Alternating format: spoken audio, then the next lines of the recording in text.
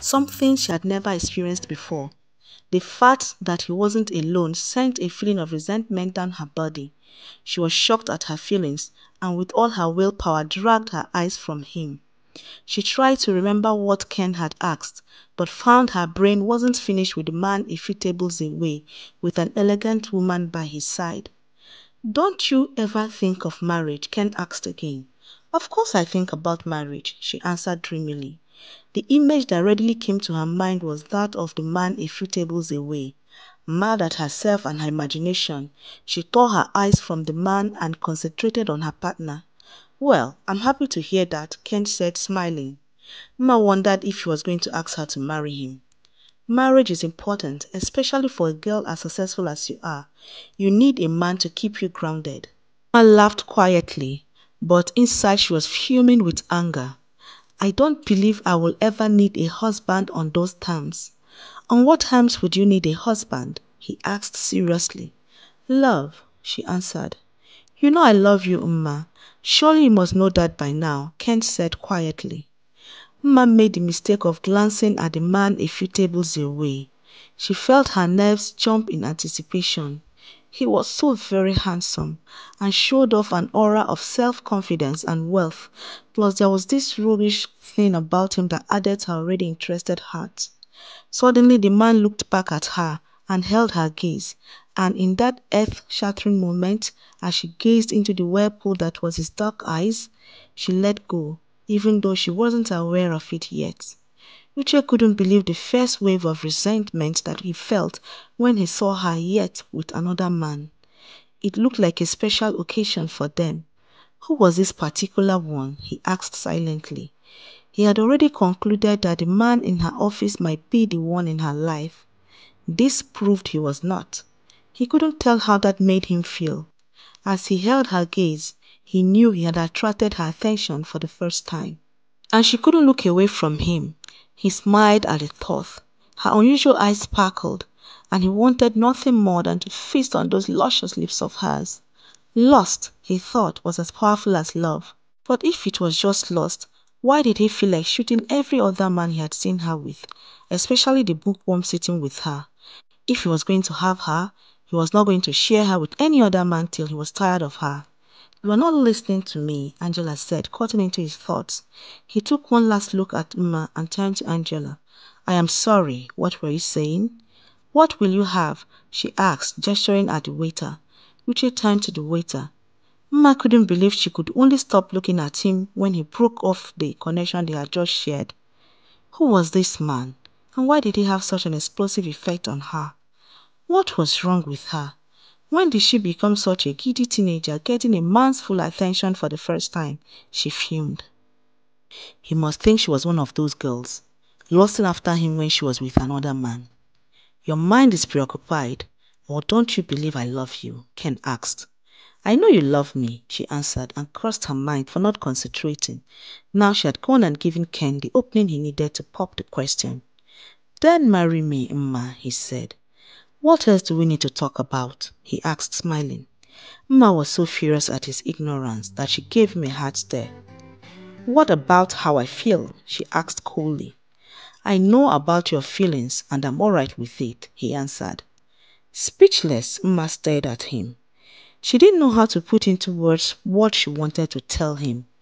To add to her shock, he brought out a ring and grabbed her left hand.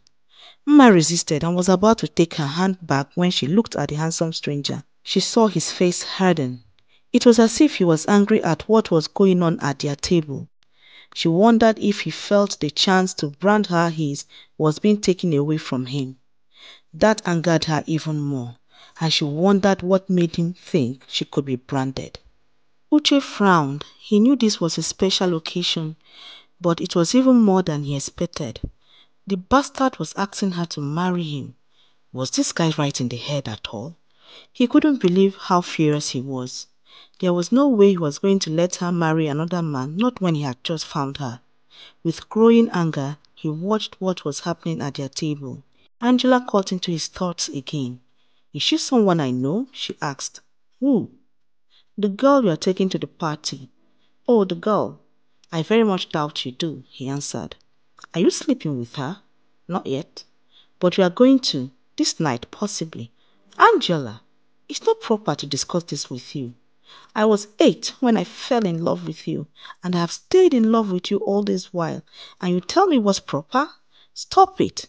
You are sounding like a martyr. You know very well we were never that serious. I am not your friend or your sister. You have never kissed me like a brother. It is something else. And I refuse to believe it's another girl. Or are you trying to tell me that all those stuff written by the tabloids are lies and are you deliberately trying to annoy me? Alright, Uche.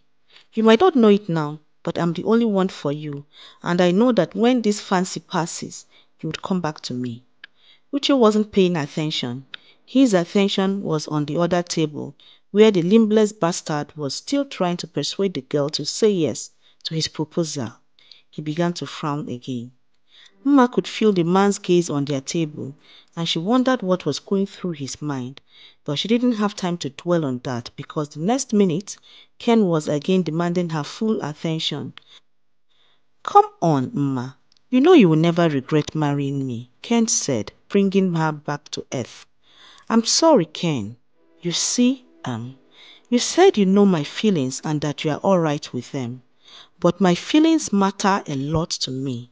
I don't feel the way you do, so I can't marry you, explained Mma assertively. What is it exactly you don't feel for me? Ken asked. I don't love you, Ken. I can't marry a man I don't love. I would only end up torturing him and myself. You love me, Mma, only you have not realized it. It took me some time to realize that what I was feeling for you was love, and that I want to spend the rest of my life with you, Ken said cleverly. You don't understand. I don't love you now, and I don't. All right, Ken said, cutting her off. Why don't you take time to think about it? You don't have to answer me now, he told her. Mma was going to protest again, but she made the mistake of looking at the formidable man and his disapproving gaze. Probably if she gave out the impression that she was not available, the man would leave her alone. A niggling thought in her mind told her that the man couldn't leave her alone because he had not said a word to her before. It was all in her head. She mused silently. And if you come to the decision to marry me, just wear it. You don't have to say anything. But if not, give it back, and I won't have to repeat this embarrassment again, Ken said hurtfully. Mma accepted it, seeing it as an opportunity not to explain her actions when she gave it back to him. Shortly they stood up to leave. She walked with her head held high, willing herself not to look at him. Uche watched her leave with growing annoyance. How could she accept the ring? He was going to have his fill of her first, and he wasn't going to share it till his lust is sated. Back at work, she went straight into her studio. She worked relentlessly trying to get one strange man out of her mind. This man doesn't mean anything to me, she willed herself to say. But each time her thoughts carried her mind to his partner, she felt a jolt of resentment. Taking a deep breath, she found a shopping bag and stuffed the dress she was working on inside it. Removing the hairband she had used in holding her hair together while she walked, and in jerky frustrating movements, she started towards the door. As she got to the ground floor, she decided to go and see Phyllis to cool off. She opened Phyllis's door and found him not alone but with his wife. Mma, I was just asking about you, his wife said jovially. Mma smiled at Phyllis's wife. She liked Tercy very much. It was very easy to love a woman as guileless as Tercy. Oh, she was out with that no-good banker. Phyllis murmured his disapproval. Come on, Phyllis. Let the girl enjoy herself. She deserves it. That no-good banker asked me to marry him, she told them. I hope you said no, because it's not right for you, Phyllis asked seriously. Don't mind Phyllis there. If you love the guy, go for him, Tercy said dearly. Anyway, I didn't say yes, and I didn't say no either. I agreed to think about it, and he insisted I kept his ring. What is there to think about? You don't love him, so you can't marry him, Phyllis disclosed. Phyllis, Tercy called with warning. You should allow Mma to make up her own mind. I'll see you tomorrow, Phyllis, she announced. You are going home early. Please tell me you are not meeting that limbless banker again, he pleaded jokingly.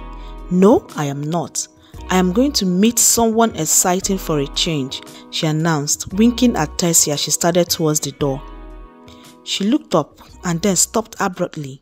Standing with his back to her was a tall man in suit, and there was only one man she knew who looked like his suits were heavily made for his body, she thought in anticipation. As if on cue, the man turned. Mma was taken aback and somehow transfixed on the spot. The man walked up to her smiling. Hello, but I need your help, he announced in deep baritone voice.